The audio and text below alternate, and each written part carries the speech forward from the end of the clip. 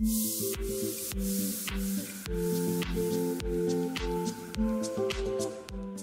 everyone, my name is Maria Gomez, also known as Big Apple Beauty on Instagram and YouTube, and today we are going to be recreating the Yoga Skin makeup look as created by makeup artist Sarah Hill. This look differs from the glass skin trend in that it enhances the skin's natural appearance while adding a little bit of glow and a little bit of coverage as well. So I'm super excited to create this look using some of my favorite Wander Beauty products. So let's get right into it. So first, to prep the skin, I'm gonna use the Glow Ahead Face Oil and I'm gonna let it sit for a little bit. It's super important to make sure that your face is really prepped, even and smooth so that the rest of your makeup just glides on and looks like skin. Next, on my T-zone, I'm gonna use a Smooth Sailing Perfecting Primer. This step is super important, especially if you find that you have more oily skin, but do wanna try this trend out as well. I love how she really embraces the use of your hands to work the products in because I really think that using your hand achieves a more natural finish. And to be honest, if you're on the go, who has time for brushes? I also like to work it on the sides of my nose because I do find that I get a little bit of texture and pores in that area.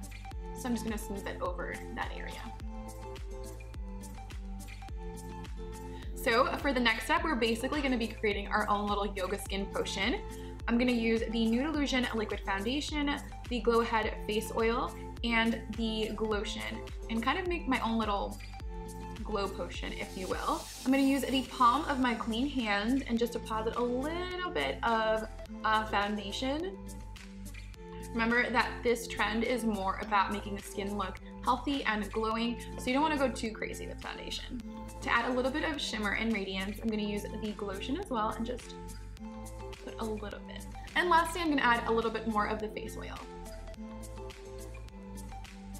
You want to make sure that everything is worked nicely into each other, so just using the other hand, I'm going to go ahead and combine all these products together.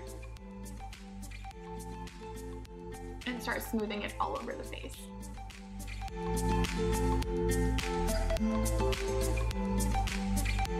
I do think I would want a second layer, so I'm gonna let this set for a little bit and I'm gonna go in with the second layer.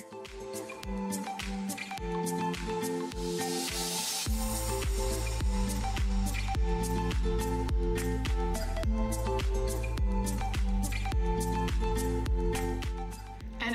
second layer, I'm just really concentrating it in the areas that have a little bit more hyperpigmentation and that I do want a little bit more coverage on.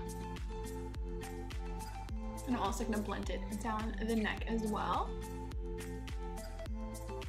I definitely do see the skin a little bit more even. It's super healthy. It looks kind of like I got a facial um, and I really, really like it. I do see that some spots are still kind of coming through, but that is all part of the look, I think. It's kind of still making your skin look like what it looks like without makeup, but just a little bit more enhanced. So as I mentioned, there are still some spots that are coming through, but I'm not gonna add a whole layer of foundation just to cover them up. I'm gonna use the Dualist Concealer and just dot it wherever I need it.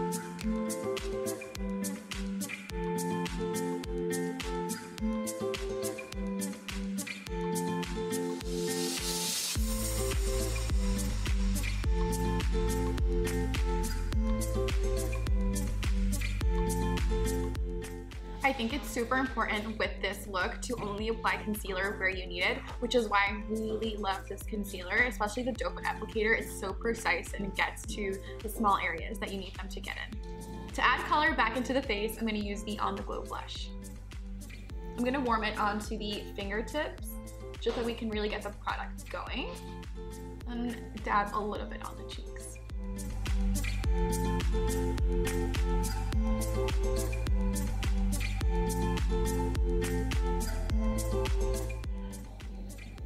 I think the fact that we use oil throughout the skin prep and for the foundation or mix in with the foundation really helps all the other products glide on so easily. And whatever's left on the fingers, I'm gonna glide over the bridge of the nose. Since this look is not super eyeshadow heavy and it's more cream and liquid based, we're not gonna go too crazy for eyeshadow, but I do still wanna add some more definition into the eyes. So to do that, I'm gonna use the On The Glow bronzer just to define the area a little bit more. Pop it on the outer V of the eye. I'm also gonna glide a little bit more towards the inner corner of the eye. I think the trick to this look is using as minimal powder as possible to achieve that glowy skin look.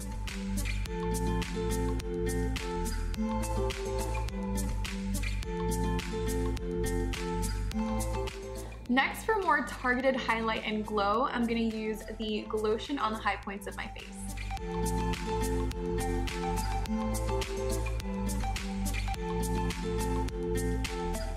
So although we have a very glowy complexion, we still want to amp up the highlighter and glowiness with a little bit more of targeted highlighter. If you do want to wear this look out for the spring and summertime, I do suggest mattifying it a little bit, especially in the T-zone, so it doesn't get overly oily throughout the day.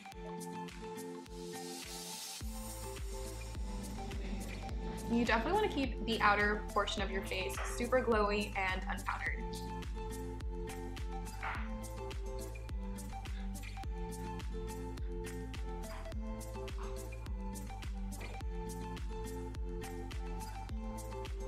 So I'm gonna do a glossy lid for this look because I feel like it would be a perfect pairing. To do that, I'm gonna use the Beach Balm in the shade Siesta. It's a nice overall clear balm that would be perfect in the eye area. I'm gonna focus it on the inner part of the lid just to kind of catch the light whenever I turn my face.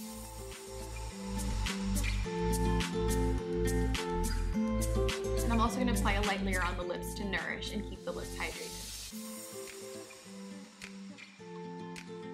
And you can't forget your lashes, so I'm gonna apply a light layer of unlashed mascara. This is seriously one of my favorite mascaras for just very, very long lashes.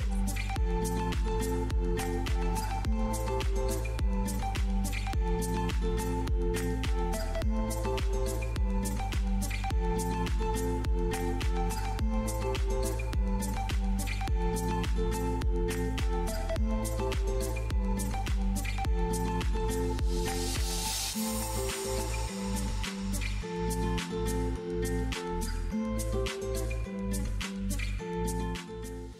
is my finished Yoga Skin look.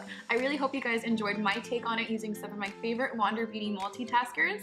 If you would like to get your hands on any of the products I used, make sure to check out wanderbeauty.com. And if you want to check me out, make sure to look me up on Instagram and YouTube at Big Apple Beauty.